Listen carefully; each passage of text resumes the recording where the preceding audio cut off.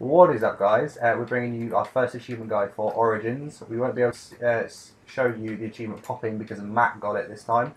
Um, and this is the one called um, I'm Not a Gold Digger. And it involves you digging up uh, a weapon and someone else taking it. So, what you want to do is in spawn. Yes, sir. Wunderfizz Orb is currently in another location. Oh, we'll look into that later. Okay, so uh, that's the buildable part machine. So in Origins, this is the spawn room. Go upstairs, turn right. Um, this is got door guns cost 750. Just keep running, keep running. In there's part of the zombie shield, by the way. Keep running, keep running, keep running. And then when you come out here, so if you go through the zombie shield room, we'll come out just here, and there is a pile of like bones, kind of like skag piles in Borderlands 2. And uh, if you have a shovel from the start, I'll run back and show you where the shovel locations are. If you dig it, you can get a power up from it or a weapon. If you're lucky, you'll get a weapon and it's white and it hovers. Get your friend uh, to pick it up. If you have to dig it, then get your friend to pick up the weapon you have dug up and you will get an achievement.